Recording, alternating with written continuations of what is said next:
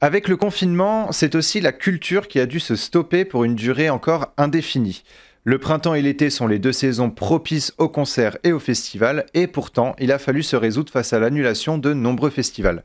Pour en parler avec nous dans le mag, Françoise de Salle de présidente de l'association Animasos de Saint-Quentin en Yvelines. Bonjour et bienvenue sur Sensation.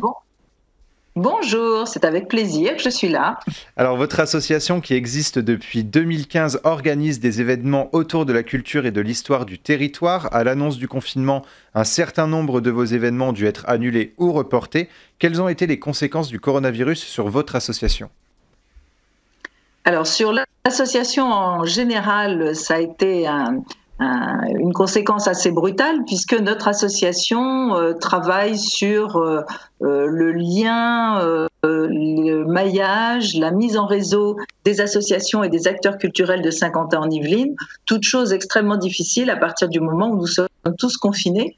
Alors certes, il y a la vidéo, mais voilà, ça ne suffit pas. Donc ça a été voilà un frein à beaucoup d'actions et de projets notamment le festival Pulsation, mais pas seulement, puisqu'on mène d'autres projets et que ceux-ci ont également euh, ont été mis en sommeil.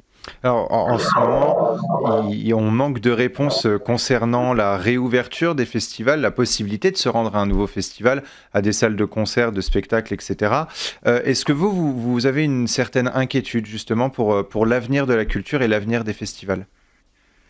Alors je pense que ça va être très compliqué, en tout cas avec les mesures actuelles. Alors euh, en étant optimiste, on peut penser qu'on va pouvoir euh, euh, revivre de façon un petit peu plus proche les uns et les autres et vivre des moments forts, notamment culturels et notamment des festivals, mais certainement pas une échéance courte. Donc voilà, c'est pour ça que nous, nous avons choisi de reporter le festival Pulsation de date à date, en fait, de le reporter d'un an pour, euh, pour essayer d'assurer euh, sa, sa vitalité. Vous venez de le dire, fin septembre devait avoir lieu la première édition du festival Pulsation. Vous avez décidé euh, non pas de l'annuler, mais de le reporter d'un an. ça a impacté votre organisation, ce confinement?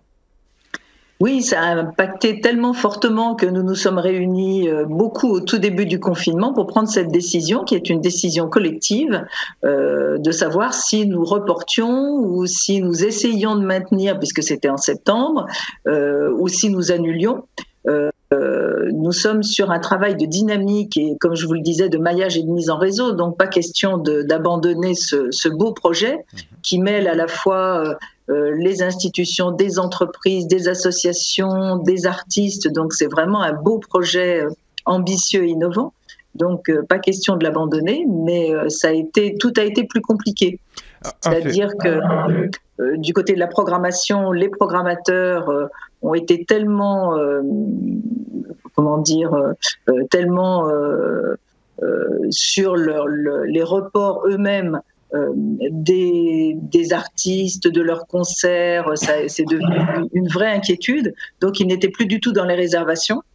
Euh, donc très difficile de leur parler réservation pour une date quelconque. Eux étaient uniquement sur des reports.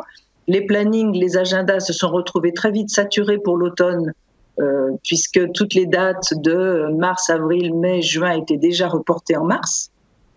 Justement, un, festival, euh, un, festival un, festival, ça demande énormément euh, d'organisation. Ça vous a demandé combien de temps, vous, pour organiser le festival Pulsation?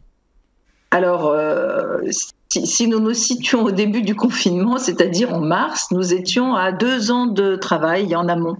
donc, ça faisait donc deux ans que nous travaillions à la constitution de ce, de ce festival qui est très particulier puisque c'est pas un festival avec juste euh, un public et des, et des artistes, donc euh, des choses assez faciles à gérer, mais un festival euh, créé sur une, la construction d'un maillage qui était à la fois un festival avec des scènes d'artistes nationaux, donc reconnus, et un village artistique et solidaire. Donc voilà, une grosse construction collective, collégiale, et on sait que plus on est nombreux pour construire, plus les choses demandent de temps. Alors justement, est-ce que ces artistes prévus cette année euh, répondront présents l'année prochaine? Ou est-ce que justement, avec ce report, c'est l'occasion pour vous d'accueillir soit plus de monde ou soit réorganiser ce festival? Bien les deux, en fait, c'est ça. C'est-à-dire que nous sommes très contents parce que les artistes qui avaient déjà, euh, qui s'étaient déjà engagés sur le festival 2020 euh, euh, nous accompagnent aussi sur le festival 2021. Et puis que ça sera l'occasion peut-être d'avoir certains noms qu'on espérait très fortement, que je ne vous citerai pas, mais qu'on espérait très fortement et qui n'étaient pas libres. Euh, donc voilà, donc il est quand même très très difficile de savoir, hormis ceux qui, nous accompagnent, de savoir qui nous pourrons avoir en programmation, puisque euh, tout est très très fluctuant en ce moment, très aléatoire. Tous les plannings des artistes sont aléatoires. Donc euh, voilà, pour l'instant, il n'y a pas de réservation, mais ça peut nous permettre d'avoir certains artistes euh, qui nous plairaient beaucoup. Alors, à quel moment vous vous êtes dit que vous alliez euh, décaler finalement le, festival d'un an au lieu d'essayer justement de, le faire en octobre, novembre ou décembre? Alors quand on s'est rendu compte, puisqu'on a continué de travailler par vidéoconférence, quand on s'est rendu compte que tous les délais étaient devenus extrêmement aléatoires, toutes les dates, toutes les réservations, tous les, toutes les dates de, versement des subventions institutionnelles, tout devenait extrêmement aléatoire. Euh, donc on s'est dit que voilà, là c'était pas c'était pas raisonnable et euh, nous sommes devenus raisonnables et on a décidé de le reporter. Et pour le moment, les festivals sont interdits en France. Emmanuel Macron l'a annoncé le 13 avril. Euh, Édouard Philippe l'a rappelé le 28 avril et le 7 mai. Aucune date n'est encore donnée pour la reprise d'activité. Est-ce que cette incertitude vous inquiète pour vos événements futurs? Alors, ça nous inquiète parce que parce que c'est compliqué pour tous les intervenants euh, du coup dans ce grand flou, euh, pas toujours très artistique justement. C'est compliqué de construire des choses. Donc, euh, nous sommes tous un petit peu, voilà, on, sait, on ne sait pas, on peut pas vraiment mettre des dates, mettre des chiffres, mettre des noms, parce que comme vous le disiez, la construction d'un festival important comme serait le festival Pulsation, euh, c'est une construction euh, très euh, pas à pas et qu'il faut maîtriser complètement. Donc voilà, c'est difficile de maîtriser tous les éléments de construction en ce moment.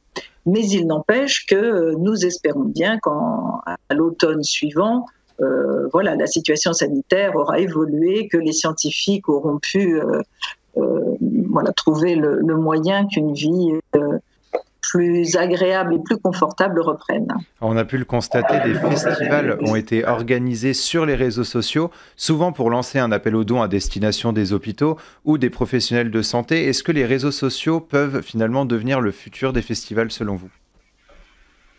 Ah, À mon avis, non, pas du tout. C'est autre chose c'est autre chose. Et puis là, on était dans une ambiance très particulière qui, qui a fait qu'en effet, le côté très créatif euh, de tous ces échanges par vidéo était, euh, sortait chacun de sa morosité, donc c'était très bien.